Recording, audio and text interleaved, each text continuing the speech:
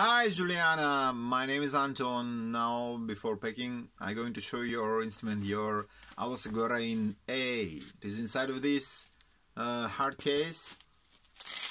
Open it. It consists of two pipes. Um, low pipe and high pipe. Low pipe is a bit thicker and uh, it has three finger holes and plays notes E, uh, Mi, Fa, Sol, La. And high pipe has four finger holes and plays notes uh, La, Si, Do, Re, Mi.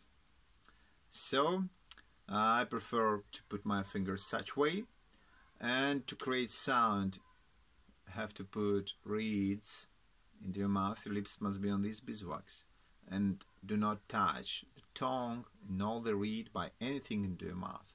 It's very very important for the sound and blow.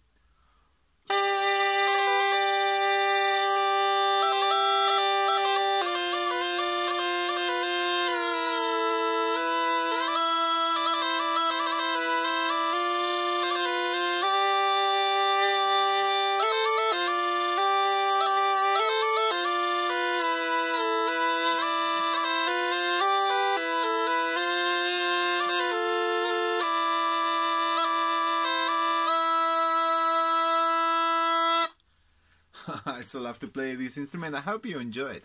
Uh, so now, before breaking on like disinfection for the reeds, and I recommend you do not give to blow your instrument to anybody. This is exactly only your instrument. It's very very important for your health. Uh, be careful with the reeds. It's the most important part of the instrument. Be careful with them. The best air humidity for the instruments, exactly for the reeds, is 50%.